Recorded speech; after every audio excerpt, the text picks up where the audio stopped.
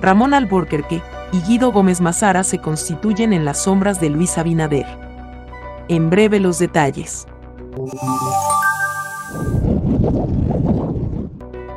El presidente Luis Abinader tendrá que competir con Ramón Alburquerque y Guido Gómez Mazara a lo interno del PRM en las elecciones del 2024. Por un lado, Ramón Alburquerque. El 16 de abril lanzamos nuestra candidatura a la presidencia de la República a las 9 de la mañana en el antiguo Hotel Lina, hoy Barcelona. Quien lanzará su precandidatura presidencial por el PRM de manera oficial.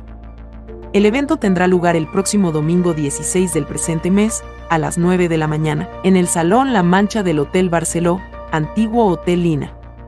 Para su campaña, Ramón Alburquerque usará el lema Entrentó.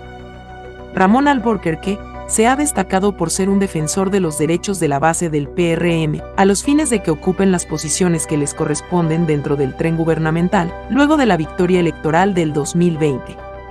Por otro lado, Guido Gómez Mazara, quien se queda en el PRM y aspirará a la candidatura presidencial por ese partido. Su campaña se desarrolla bajo el lema tácito, dando la batalla. Gómez Mazara manifestó que la ciudadanía necesita personas que tengan un mayor criterio de cercanía y que sus actuaciones desde la esfera pública o desde el partido no sean sinónimos de andar hipotecados con grupos económicos que tienen como objetivo privatizar los partidos políticos y las acciones públicas. ¿Piensas que una alianza entre Ramón y Guido podría hacerle frente a Luis Abinader? Déjame un comentario y te lo agradeceremos. Suscríbete a este canal para más noticias.